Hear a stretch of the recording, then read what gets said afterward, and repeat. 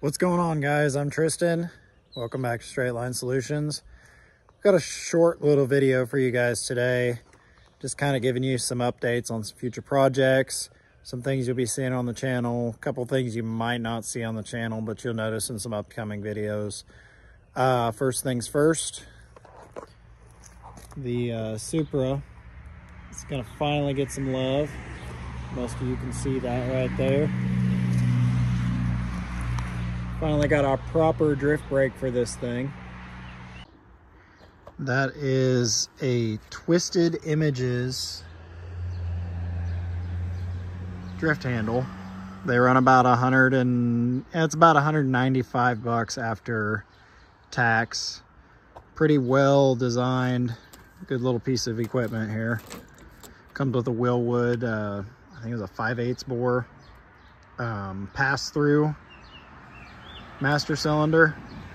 It is actually a Wilwood. But uh, yeah, should be helping us get this thing a little bit more sideways. Kind of help throw it around, get some 180s out of it, and make for some interesting content. We've got some plans for this thing. Power steering finally works. Got the drift brake coming in this this whole thing has been every single video we've made has been no power steering and the handbrake has been worn out for about a year now so it doesn't hardly lock up the wheels at all. In fact the last video we made i couldn't get it to lock the wheels up at all so i was using the the normal brakes.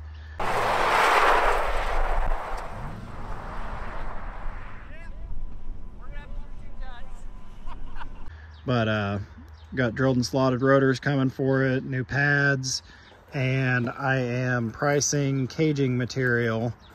We're gonna cage it front to rear, just like we did with the Dowdy. Try and get this thing a little sturdier. There's a lot of rust under this poor car. It's been rotting out for years. It was rotten when I got it. We're gonna try and correct that a little bit, get some plating down in the floorboards, get it solid. Next up on the list is the old blue tow truck, blue. A couple of you guys have probably seen that video. I know several people like this build. Uh, this is my 86 F250. It's got a 5.0 C6. It's got the lighter duty rear axle. I'm not sure yet. I still need to check on gears, but uh, we've got our parts truck here. And it has a full floater rear end in it. But the important part is we've got headers that should bolt right up. This truck's got terrible exhaust leak and no oxygen sensors, so it runs really rich all the time. So we're gonna get headers put on there. That may or may not end up being a future video. But like I said, got full floater rear end. That's the important part this truck is terrible about sagging when we put a car on the back and I actually just figured out why. Um, those are heavy duty leaf springs for a three quarter ton. I mean, I'm not going to talk them. Uh, they're, they're way heavier duty than what we got going on here. The ones on blue are very dinky. And if you look over there, we're actually missing two leaves. One of them's broken and still laying in there.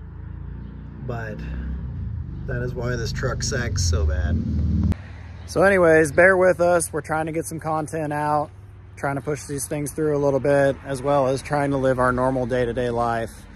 Um, we'll get videos out as we can. And I think Jace is working on getting a couple Dowdy videos out. I know you guys seem to like that thing the biggest thing that could be happening is hit that like and the subscribe button. It'll really help us grow the channel. We're trying to make this our, our normal gig if we can. So if you guys can do that for us, that'd be great. Thanks.